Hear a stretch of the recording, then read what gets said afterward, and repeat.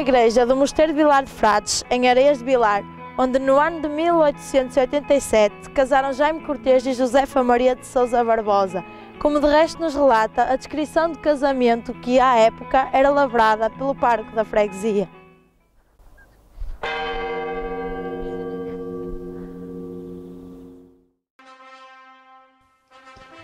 Aos dois dias do mês de maio, digo junho, do ano de 1827, nesta igreja paroquial de Areias e Madalena de Vilar de Frades, Conselho de Barcelos, Diocese de Braga, na minha presença compareceram os nobentes Jaime Cortês e Josefa Maria, os quais, sem serem os próprios, com todos os papéis de estilo corrente, sem impedimento algum, canónico ou civil, para o casamento. Ele, de idade de 31 anos, solteiro natural da cidade de Porto e lá batizado, morador nesta, filho legítimo de José Maria Cortês, natural de Espanha, e de Francisca Adelaide Bastos, natural da cidade de Coimbra, e ela, de idade de 26 anos, solteira e natural, moradora e batizada em São Pedro de Adães, deste Conselho Diocese, filha legítima de José Lourenço de Souza e Cristina Teresa da freguesia de Ita de Adães, os quais, noventes receberam por marido e mulher que unia em matrimónio, procedendo então este ato rito de Santa Madre Teresa Católica Apostólica Romana. Foram testemunhas presentes que sei serem os próprios Manuel Joaquim da Silva, jornaleiro, e João José Rodrigues, criado servir, ambos solteiros desta freguesia. Para constar, lavrei em duplicado este assento que, depois de ser lido, conferido perante os cônjuges, testemunhas com todos vou assinar, menos a cônjuge por não saber. Acabamos de ouvir a leitura da certidão de casamento de Jaime Cortês e Josefa Maria de Souza Barbosa, ao mesmo tempo que visualizamos imagens da Igreja de Areias de Vilar, local do casamento. Este casal, que foi residente na freguesia de Adães, Conselho de Barcelos, foi progenitor de Laura, Joaquim, Diolinda, Júlia, Fernando, Maria da Conceição, José Maria e Domingos.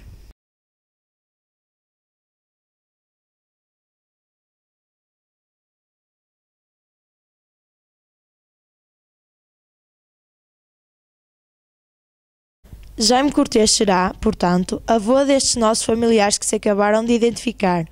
Vamos então procurar conhecer um pouco da história deste nosso avô, bisavô ou trisavô, conforme o caso. Dit que nos vies ne valent pas grand-chose, elles passent en un instant comme fanent les roses. On me dit que le temps qui glisse est un salaud, que de nos chagrins il s'en fait des manteaux. Pourtant quelqu'un m'a dit que... Casa, em Adães, Conselho de Barcelos, que viveram uh, Jaime Cortês e Josefa Maria de Souza Barbosa e onde se suspeita terem nascido os seus filhos Júlia, Fernando, Maria da Conceição, Diolinda, José Maria, Domingos e Joaquim Eduardo. Jaime Cortês foi lavrador carpinteiro, tendo-se dedicado ao fabrico de utensílios agrícolas como reladores, moinhos e limpadores. O exemplar de limpador que está aqui exposto suspeita-se que terá sido fabricado por ele no ano de 1916. Tanto quanto sabemos, as peças por ele fabricadas seriam assinadas por JMC, como é o caso. Os pais de Jaime foram José Maria Cortês e Francisca Adelaide Conceição Bastos e teve sete irmãos: Alfredo, Manuel Maria, Maria da Conceição, Laura Maria, Beatriz Maria e Fernando Cortês. O seu pai era um jovem espanhol de Tui, nascido no ano de 1822 e filho de Pedro Cortês. Quisemos saber o que levou este jovem a deixar Espanha e rumar a Portugal. Tanto quanto nos foi dado a entender, existe a possibilidade de um motivo da sua emigração se dever à fuga de uma qualquer guerra em Espanha. Se realmente foi esse o motivo, embora o fez, porque caso contrário, provavelmente a história da família Cortês não estaria aqui a ser contada. José Maria Cortês, depois de sair de Espanha, rumou à cidade do Porto, tendo casado a 21 de abril de 1853 na freguesia de Santa Maria de Celurico da Beira, Conselho da Guarda, com Francisca Adelaide Conceição Bastos. A primeira residência conhecida deste casal foi na freguesia da Vitória, na cidade do Porto. Ao que se sabe, possuíam um pequeno negócio de venda de vinhos e seria hábito virem comprar vinho na região do Minho, nomeadamente em Adães e Areias de Vilar. Mais tarde, alguém abastado da cidade do Porto adquiriu as terras que fazem hoje parte da Quinta de Areias, tendo convidado o casal Cortês para feitores dessas mesmas terras. Foi assim que José Maria Cortês, oriundo de Espanha, e Francisca Adelaide, oriunda da cidade de Coimbra, vieram parar à freguesia de Areias de Vilar, morreram ambos em socorro Agora que acabamos de conhecer um pouco da história de Jaime Cortês, importa tentar conhecer as origens da sua esposa e avó, bisavó ou trisavó, conforme o caso, de muitos dos presentes. Josefa Maria de Souza Barbosa nasceu na freguesia de Adães e faleceu na mesma freguesia a 27 de janeiro de 1954. Seus pais foram José Lourenço de Souza Barbosa e Cristina Teresa, naturais de Adães e Galegos, respectivamente. Existem registros que prolongam a história desta família Barbosa que podem ser consultados na árvore genealógica exposta. Agora que acabamos de apresentar os ascendentes e filhos de Jaime Cortês e de Josefa Maria, vamos dedicar especial atenção a um dos filhos do casal, Fernando Cortês. Fazemos-lo por se tratar do descendente mais representado neste convívio e por ser da derivação familiar sobre a qual possuímos mais conhecimentos. Estamos agora em frente à igreja da Freguesia de Adães, Conselho de Barcelos, onde no ano de 1896 Fernando Cortes foi batizado, como demonstra a leitura da descrição de batismo que passamos a ler. Aos 14 dias do mês de fevereiro do ano de 1896, nesta igreja paroquial de São Pedro de Adães, Conselho de Barcelos, Diocese de Braga, batizei solenemente o indivíduo de sexo masculino, a quem dei o nome de Fernando, que nasceu nesta freguesia pelas 11 horas da manhã, dia 12 do mês de ano supra. Filho legítimo de Jaime Cortês, carpinteiro e lavrador, natural da freguesia de Areias de Vilar, deste Conselho e Diocese, e de Josefa de Sousa Barbosa, lavradora. Natural desta freguesia de Adães, recebidos na dita freguesia de Areias de Vilar, paroquianos e moradores desta de Adães, neto paterno José Maria Cortês e Francisca Adelaide da Conceição Bastos, e materna José Lourenço da Souza Barbosa e Cristina Teresa. Foi padrinho Fernando Cortês, casado, lavrador e madrinha, Laura Maria Cortês, viúva, costureira, ambos da freguesia de Madalena de Vilar, os quais todos sabemos serem os próprios. Para constar, lavrei duplicado este assento que, depois de ser lido e conferido perante os padrinhos comigo, assinaram. Fernando Cortês casou 24 de junho do ano de 1920 com Domingas da Costa Pereira na Igreja Paroquial de Sequiado. Este casal viveu no lugar da volta em Sequiado e foram os pais de Armando,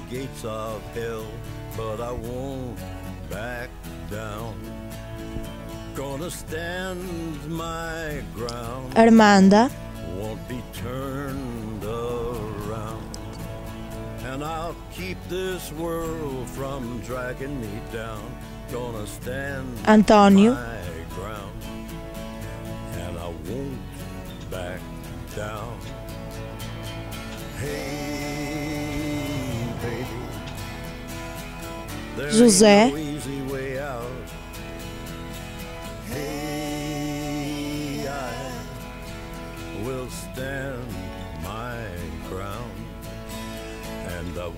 e Flávio.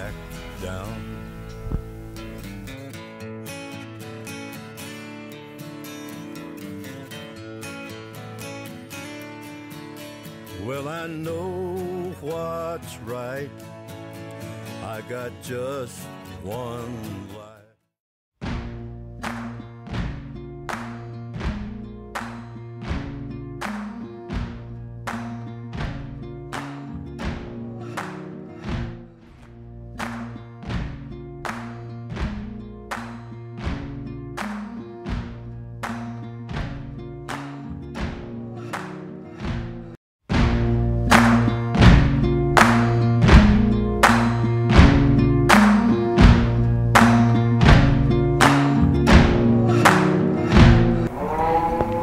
Domingas da Costa Pereira, mãe, avó ou bisavó, conforme o caso, de muitos dos familiares aqui presentes, descende de uma linhagem que viveu sempre na freguesia de Sequiado, entre os lugares da Piedade, de Fonte Dónega, com um saltinho às freguesias de Airó e Gamil. É com Domingas da Costa Pereira que a família Pereira se cruza com a família Cortês. Seu dia mais feliz vai ser o mesmo que o meu. A vida me ensinou a nunca desistir, nem ganhar nem perder, mas procurar evoluir. Podem me tirar tudo que tenho, só não podem me tirar as coisas boas. Domingas foi batizada nesta igreja de Sequiade, Conselho de Barcelos, no ano de 1907, batismo do qual passamos a ler a descrição. Aos 15 dias do mês de maio do ano de 1907, nesta igreja paroquial de São Tiago de Sequiade, Conselho de Barcelos, Arquidiocese de Braga, batizei solenemente um indivíduo sexo feminino, quem dei o nome de Domingas, que nasceu nesta freguesia de Sequiade pelas 11 horas da manhã do dia 11 do dito mês e ano. Filha legítima de António José Pereira, artista carpinteiro, e Teresa Gonçalves, ocupada no serviço doméstico, ambos naturais desta freguesia de Sequiade, recebidos na mesma e moradores no lugar da Fonte Dónica. Neta paterna de Francisco José Pereira, viúvo, e Ana Maria da Costa, já falecida, e materna de José da Costa da Eira e António Maria da Silva. Foram padrinhos José da Costa Pereira, solteiro, lavrador, morador no lugar da Piedade, e Domingas Pereira, também solteira, costureira, e morador no lugar de Sá, e todos deste sequiado, aos quais todos sei serem os próprios. Lido e conferido perante os padrinhos e comigo assinaram. Depois de enquadrarmos a Domingas da Costa Pereira com a família Cortês, vamos recuar um pouco no tempo e conhecer quem foram os seus pais, irmãos e avós. António José Pereira e Teresa Gonçalves foram os pais de Domingas da Costa Pereira, que teve seis irmãos: José António, Rosa, Antônia, José, Manuel e Francisco.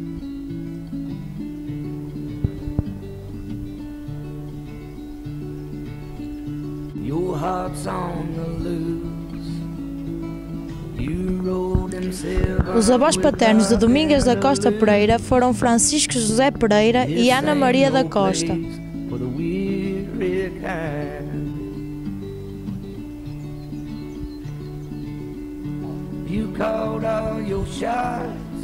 Os avós maternos de Domingas da Costa Pereira foram José da Costa e Antônia Joaquina da Silva. Esperamos com este simples momento ter contribuído para a melhor compreensão dos nossos laços familiares que nos unem. O trabalho que acabamos de apresentar é um trabalho completo e fica aberto a todos que tenham material para o enriquecer. Esperamos também que as gerações atuais tenham gosto de lhe dar continuidade. Forneceremos todos os elementos que se entenderem por necessários e que estejam na nossa posse. O meu nome é Armanda Cunha. E o meu nome é João Cunha. Somos netos de Maria Armanda Pereira, bisnetos de Domingas Pereira e Fernando Cortês e trisnetos de Jaime Cortês e Josefa Barbosa.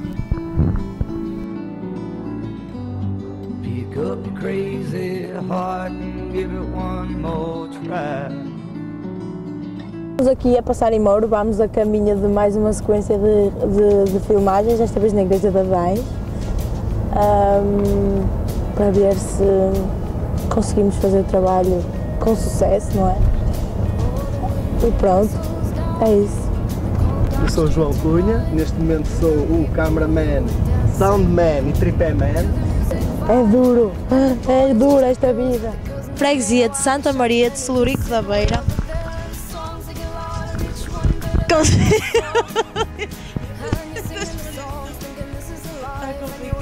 Freguesia de Santa Maria da Beira. José Maria Cortês, depois de ter saído entre, as- entre os lugares da Piedade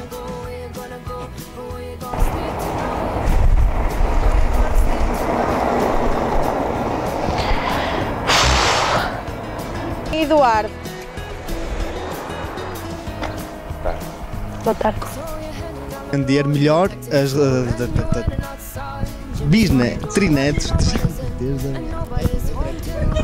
apresentar. Fica aberto e está. ah, está